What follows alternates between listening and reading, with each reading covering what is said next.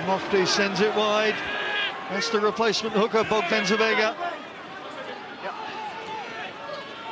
Again, the quicker presentation helping the Oaks, but there's a turnover ball, and it's Ross Rennie, I think, who has snaffled that ball, and there is opportunity on the far side. Max Evans offloads to Dan Parks, the ball kept alive to Cusiter. Brown provides the conduit, Scott Lawson up in support. If they can get the ball, there's a try on this near side beckoning, and of course, with a try is a try bonus point. Danielli straightening things up. Paterson waiting outside. Chris Paterson cutting back inside. Paterson pass one. Offloads again. Rennie up in support as any good open side should be. They want quick ball. They've got it. Parks out to Vernon and Simon Danielli gets his second and Scotland's fourth.